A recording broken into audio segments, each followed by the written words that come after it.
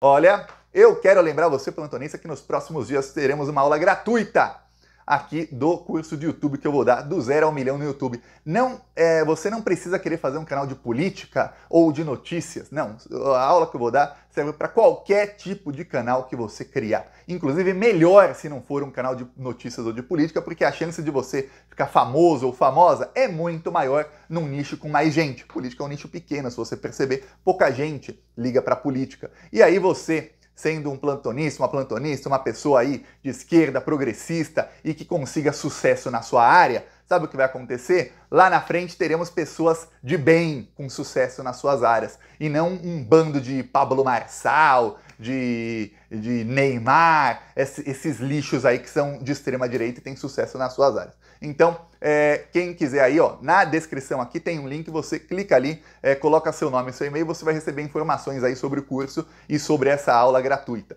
É, vamos falar agora sobre o que está acontecendo aqui, que é a Polícia Federal tem três delações aí contra Bolsonaro na sua mesa. E agora começa a vazar algumas coisinhas. Isso está apavorando não só o Bolsonaro, mas os parlamentares bolsonaristas. E o Arthur Lira está tendo crises aí porque foi avisado via imprensa o seguinte: olha só a estratégia do Bolsonaro e do Arthur Lira. São duas estratégias. A primeira, o Bolsonaro quer aprovar um, pro, um projeto de anistia para os terroristas do dia 8 de janeiro e que depois vai se estender a ele, Bolsonaro.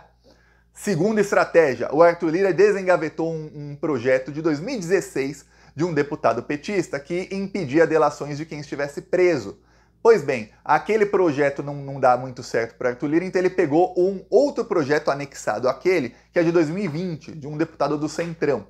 E aí o Arthur Lira quer aprovar isso com urgência, para ser aprovado já na semana que vem. Você fala, caraca, Thiago, semana que vem vão impedir, e isso vai acontecer duas coisas se esse projeto aí for aprovado e sancionado e tudo mais. A primeira, a delação do Tenente Coronel Cid vai para o ralo.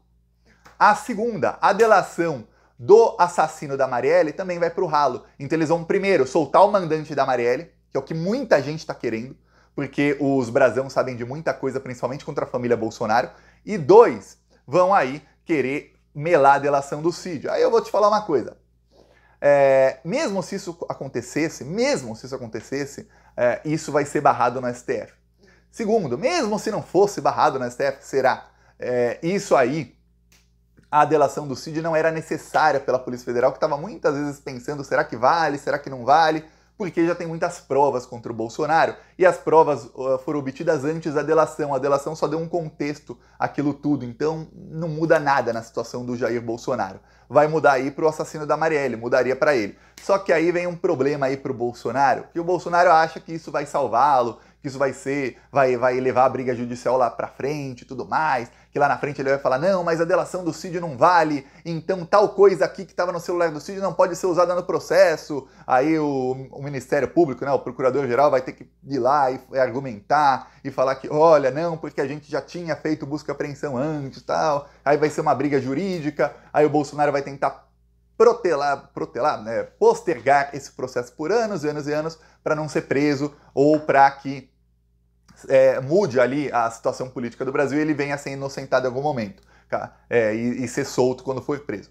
Pois bem, não vai dar certo por um outro motivo. Agora a Polícia Federal está fechando aí, tá para fechar três delações. É, o que sai na imprensa, e aí pode ser estratégia da Polícia Federal, provavelmente é, é que a polícia diz: olha, já temos muita prova, já temos muita coisa, não sabemos se essas delações são úteis. Tem uma coisa, o, tudo indica que pelo menos um desses delatores não está preso. Pô, mas e o, e o projeto de, de que pessoas que está, estão presas, a delação não vai mais valer? É, valia a delação de gente presa, forçada a delatar o Lula sem provas. Aí valia. Para o Bolsonaro não vai valer, né? Hum, já vi. Pois bem, aí um dos delatores não está preso. E deu ruim. Por quê? Porque se aprovam um projeto, vamos supor que passasse o projeto, é, o, o, que saiu na imprensa é o seguinte: esse, proje esse, projeto não passa no Senado de jeito nenhum, talvez até passe na Câmara. É, ministros do STF que foram consultados disseram que isso não deve passar nem na Câmara nem no Senado, mas no Senado a chance é zero.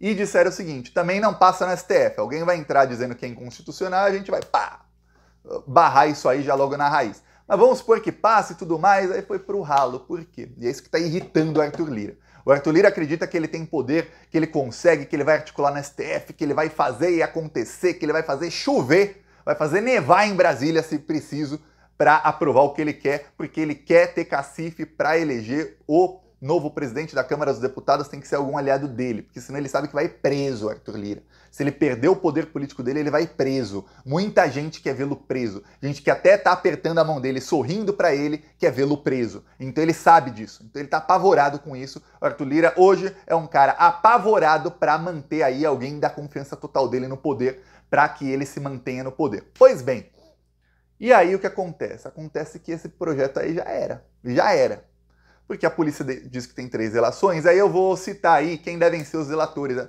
tá? Quem devem ser. Ah, quer dizer que são? Não. Rumores aí, rumores fortes aí. Mais um jornalista já ventilou esses nomes aí, que são um, Anderson Torres, que não está preso. Dois, Silvinei Vasques. E aí, o três parece que é uma secretária do Silvinei. Por que parece que é essa secretária? Porque essa secretária já deu um depoimento que ela entregou tudo. E ela entregou tudo sem precisar. Agora que ela está para ser indiciada, porque queira ou não ela cometeu o crime, ela, ela fez o mapeamento, ela fez parte do crime, provavelmente essa secretária aí queira fechar uma delação premiada para que ela não seja presa lá no futuro. É, é, e tem uma coisa, a secretária do Silvinei também está solta. Tem aí um outro detalhe. Se forem esses mesmos os três delatores, a secretária do Silvinei ela disse no depoimento que aquilo era para beneficiar o Bolsonaro. Não sabemos se ela tem aí alguma prova ou se ela consegue levar a polícia a uma prova direta contra o Bolsonaro, porque parece que nesse inquérito aí, pelo que vazou na imprensa, é, e isso é, eu tenho quase certeza que é a estratégia da Polícia Federal, porque já fizeram isso no ano passado, e nesses inquéritos, que é, eles falam que vai ser de uma maneira inquérito, e aí for, não é que força uma delação, os delatores veem qual é o caminho ali para fechar a delação. Então a Polícia Federal solta duas informações. Primeira, a que o Bolsonaro não deve ser indiciado nesse inquérito. Como é que impedem milhões de petistas de votar e o maior beneficiário disso tudo não é indiciado? Essa é a primeira informação. E a segunda informação é que o, esse inquérito aí está terminando e que tem as delações aí, três delações que foram oferecidas, talvez não sejam necessárias. Ou seja, os delatores ficam assim, peraí, vou ter que entregar a cabeça de quem? De quem é o maior beneficiário. Porque se ele não tá, se ele tá para ser não indiciado, então quem conseguir falar, ó, oh, gente, foi ele que é o mandante, pô. E mostrar que foi ele que é o mandante, não adianta falar. O crime foi cometido, eu sei, você sabe, não tenha dúvida de que o delegado sabe, o Alexandre de Moraes sabe, o Procurador-Geral da República sabe, todos os agentes da Polícia Federal sabem que isso foi ordem do Bolsonaro. Mas alguém tem que mostrar, ó, foi ordem, ou o Bolsonaro sabia e deu aval, ou o Bolsonaro sabia e não fez nada. Alguém tem que mostrar ali. Ou mostrar como a Polícia Federal chega nisso. Felizmente para nós, tudo está amplamente documentado em mensagens, em áudios e tudo mais. É, então agora tem aí esses três relatores, dos quais um ou dois não estão presos, que estão buscando meios de provar, ó, o chefão é esse aqui. Esse é o chefão, é ele quem mandou impedir 5 milhões de petistas de votarem no dia da eleição. Isso aí é um, é um crime enorme contra a democracia do país, essa tentativa de manipular o resultado de uma eleição. É, além dos crimes aí, você parar a gente na estrada que não deveria ser parada, ainda tem os crimes aí individuais contra cada um dos cidadãos que foram parados. Teve cidadão aí que teve que caminhar três horas para ir votar. Realmente esses cidadãos merecem uma indenização do Estado. Eu te pergunto, você, plantonista, se você tivesse uma zona eleitoral que fica 20 minutos da sua casa, a polícia te para e você é obrigado a ficar 20 minutos de carro lá de estrada, 100 por hora no carro, né? Uma estrada, lembre-se. É, aí você é obrigado a andar aí esses quilômetros todos a pé. Às vezes o caminho que você faz a pé não é o mesmo que é da estrada, que a estrada não pode pedestre, tudo mais. Você não ia querer uma indenização por isso, não. Você não merece, a pessoa não merece uma indenização? Merece. Isso a pessoa sofreu ali dano moral, dano físico, um monte de coisa, merece. E aí é isso que eles estão também aí pensando. É, essas indenizações, quando forem dadas, se é que vão ser dadas, vão ser cobradas depois dos responsáveis. Ah, quem paga é a União, mas a União cobra dos responsáveis. E aí esses responsáveis vão ter um problemão jurídico e financeiro lá no futuro. Então é isso que está para acontecer aí. Aí o, o apavoro do Bolsonaro e dos seus e dos seus parlamentares, principalmente do Eduardo Bolsonaro, é o seguinte: o, agora que está chegando a parte dos indiciamentos, é a parte. Se você lembra da Lava Jato, é, e eu falo da Lava Jato, a Lava Jato foi uma perseguição danada, foi uma desgraça, as delações eram escritas já pelo Dallagnol, as pessoas às vezes assinavam a delação sem nem ler, não sabiam nem o que estavam confessando e quem essas pessoas estavam jogando no chilindró para serem também ali explorados pela Lava Jato. O esquema da Lava Jato era pegar executivos milionários, primeiro eles quebravam os sigilos ilegalmente dessas pessoas para ver se tinham grana. Quando viam que tinham grana, eles eh, o procurador pedia prisão, o juiz que estava em conluio mandava prender, torturavam a pessoa psicologicamente, alguns até estão dizendo fisicamente. Essas pessoas eram obrigadas a delatar outro, a pagar milhões para o sócio da Rosângela Moro, que era advogado, e aí quando pagavam milhões, para mim se isso não é propina, não sei o que é, para esse advogado, aí elas eram multadas e pagavam também alguns milhões para os cofres públicos, e ali essas pessoas podiam ser soltas. E aí, como delatar alguém, eles já pegavam outro ali e faziam o mesmo esquema com todo mundo. Aqui não é esse esquema, mas uma coisa a gente aprendeu sobre delações premiadas, que é a esmagadora maioria das delações eram fechadas depois do indiciamento e depois da denúncia ser feita pelo Ministério Público Federal. Ou seja, quando os delatores já eram réus ou já eram condenados, uma coisa ou outra. Aí você fala, por que, Tiago? Porque quando o delator ainda é investigado, a coisa está muito no comecinho ainda, e aí não se sabe se vai aparecer outro crime, se não vai. Imagina que numa investigação séria, não Lava Jato, mas numa investigação séria, por isso que essa é a praxe de delações, tá? É, você tem ali, olha, delator tal, você tem, o, o procurador fala, ó, você tem o crime, ou o delegado, você tem o crime tal que dá 10 anos, o crime tal dá 2 anos, o tal dá 5 anos, total 17 anos temos contra você. Você vai pegar 17 anos, você vai ser réu primário, se você foi tudo aí, foi muito bonzinho e tal, você fica quase 3 anos enjaulado. Aí depois você vai para um semiaberto, aí depois vai progredindo de regime. Você quer fazer a delação? A gente diminui suas penas, você vai pegar no máximo 4 anos, 4 anos você não é nem preso. Já, no máximo prisão domiciliar ou, ou tornozeleira, alguma coisa do tipo. Quer? Delata. Isso é uma coisa? É. Só que e se no meio da investigação aparecer um outro crime que dá 30 anos? E aí aquela delação, pô, você 17 mudou para 4, mas agora não são 17, são 47. Por isso que as delações não são fechadas geralmente durante a investigação. Porém, no caso aí do golpe de Estado, a polícia já tem muitos elementos, muito, muitos elementos contra todo mundo. E o que parece é que a polícia já fechou aí quais são os crimes de cada um. Depois o Ministério Público, que é o Procurador-Geral da República, vai é, vai ali falar quais são os crimes exatamente. A polícia não diz crime tal, tal e tal. Só mostra que tem indícios. Por isso que é indiciamento. A prova robusta se torna indício juridicamente.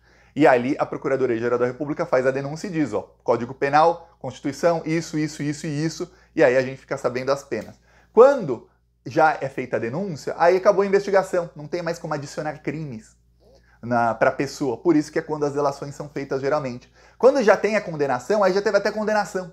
A pessoa que fechou a delação premiada, estando presa ou não, a pessoa fecha a delação premiada ou para anular a condenação ou para diminuir. Vamos supor alguém que foi condenado a 17 anos, está respondendo em liberdade ainda, aguardando recurso. Fala: não, não, vou delatar aqui para eu não ser preso. Por quê? Porque se eu não delatar agora, se eu não fechar a delação, eu, eu, e perder o recurso, vou preso. Então, vou delatar, hein? Vou delatar. E a pessoa delata para diminuir a pena. Então agora é que vai começar o corre-corre lá em Brasília. Por quê? Porque também a polícia já anunciou que a comparsa da Júlia Zanata, a Dirce Rogéria, que foi presa faz duas semanas numa operação em que a polícia prendeu mais de 50 pessoas, hein?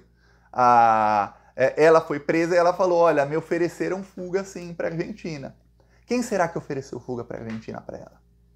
Por que será que quase todo mundo que fugiu estava no Rio Grande do Sul ou em Santa Catarina, que são os estados da Júlia Zanata e do Marcel Van Hatten? Que será que justo ela e o Marcel Van Hatten, os dois, foram lá para a Argentina, junto do Eduardo Bolsonaro, para dar guarita para os foragidos? Quem será que foi delatado ou delatada? Você consegue imaginar. Agora, a polícia prendeu mais 49 bolsonaristas. Então, aí nas, nas últimas três semanas, são mais de 100 bolsonaristas que foram presos. 54 na última leva e 49, pelo menos nessa quinta-feira. A polícia não anunciou quantos prendeu na sexta e no sábado, tá? Mas tudo indica que prendeu mais gente. Então são no mínimo 103 bandidos terroristas que foram presos e que tiveram sua fuga ali, tiveram ofertas de fuga de alguém. E aí eles vão delatar quem? E aí, como muitos desses já estão aí é, denunciados, eles estão exatamente o que eu falei na hora de delatar. E aí esses aí, muito, eles sabem que vão pegar penas entre 12 e 17 anos de prisão, é, alguns já foram presos novamente, eles vão falar, pô, vou ficar aqui preso de otário, ou eu vou falar quem é o parlamentar, a parlamentar que me ofereceu fuga.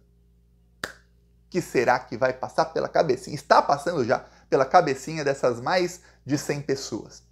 Veja bem, aí agora temos três outros aí de um caso grande aí, no, nos quais, pelo menos, um é ex-ministro do Bolsonaro, provavelmente não está preso, e no caso do Anderson Torres tem uma coisa que muita gente pensa que ele é o delator, por quê? Primeiro, o, o que vaza do Bolsonaro, de gente ligada ao Bolsonaro, é que ele não consegue contato com Anderson Torres. O Anderson Torres cortou completamente contato direto ou indireto com ele. Segundo, o Anderson Torres, tudo indica que o Anderson Torres já soprou coisa para a Polícia Federal quando ele foi solto. Lembremos, o Anderson Torres tinha pedido a soltura para o Alexandre de Moraes no ano passado. Aí o Alexandre negou o pedido de soltura dele. Aí saiu notícia de que ele tinha perdido 12 quilos, tudo mais, que ele estava mal, ok. Aí ele prestou um outro depoimento para a Polícia Federal dois dias depois. Mais ou menos, isso foi numa segunda-feira, se eu não me engano. Na sexta-feira, foi na segunda. Aí na sexta, a Polícia Federal fez a primeira operação contra os financiadores prendeu gente e fez operações de busca e apreensão. A operação foi das 6 da manhã até meio-dia. Três da tarde saiu a ordem de soltura para Anderson Torres, que tinha sido negada uma semana antes pelo Alexandre de Moraes. Por que será? Ele prestou depoimento, fizeram uma operação contra financiadores, que é gente graúda. Muito provavelmente encontraram alguma coisa que foi soprada ali por ele na casa de alguém e falaram: Ô Alexandre, pode soltar, pode soltar aqui. Passarinho cantou direitinho, hein? Cantou bonito, passarinho. Então, se já tem um indício de. Olha, tem rumores enormes de que ele já soprou coisa para a Polícia Federal no passado, então deve, ter, deve ser exatamente ele, um dos três aí, e, e talvez o que está solto, delatores de Jair Bolsonaro agora, porque ele vai fazer de tudo para não voltar para a cela. Ou chegou no momento que o cara fala: eu vou pensar em mim, vou ficar pensando em Bolsonaro, eu sou o que? Eu, louco. Não vou. No caso do Silvinei, o Silvinei mudou de advogado em março e ele, ele colocou o advogado do Bolsonaro o advogado do Bolsonaro sempre tenta livrar o Bolsonaro. Porém, tem aí notícias de que ele está meio brigado com o advogado e que ele está buscando outros. Então, por isso que muita gente acha que pode ser ele aí outro dos delatores. Veremos, viu? Muito em breve veremos, porque isso tudo será tornado público em breve, com mensagens, com áudios, etc, etc, etc. Quem viver verá. Espero que todos nós estejamos aí, até porque falta pouco tempo. É, eu peço sua inscrição no canal. Falou!